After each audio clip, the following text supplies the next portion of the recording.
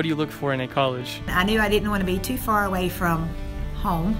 Um, so I was kind of stuck between NC State and UNC Charlotte. It's definitely a learning curve and it's an adjustment. You feel like you're alone, you feel like you're cut off from everybody, but only a matter of time you're going to start making new friends and you start meeting new people. I feel like if I went far away from home, it would give me a chance to branch out.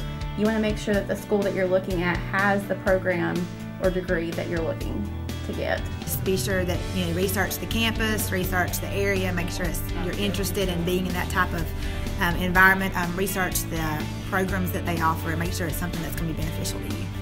The biggest thing I would say is just uh, be flexible. Be willing to kind of leave yourself open to adjusting that dream as you need be.